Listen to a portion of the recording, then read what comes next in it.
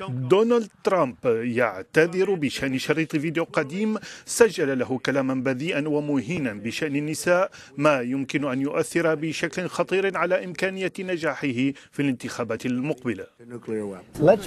لنكون نزيهين نحن نعيش في عالم حقيقي. هذا ليس أكثر من عملية حرف الأنظار عن القضايا المهمة التي نواجهها اليوم. نحن نفقد أعمالنا نحن أقل أمنا مما كنا عليه قبل ثمان سنوات. وواشنطن محطمة بالكامل. هيلاري كلينتون ورفاقها دفعوا البلاد إلى الحضيض.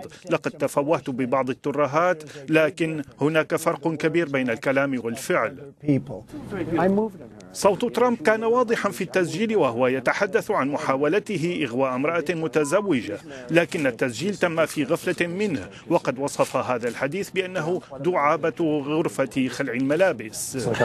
التسجيل ظهر في وسائل الإعلام قبل يومين من مناظرة أساسية بين دونالد ترامب والمرشح الديمقراطية هيلاري كلينتون ما يمكن أن يؤدي إلى تراجع شعبيته بين الناخبات وأن يسبب له خسائر جدية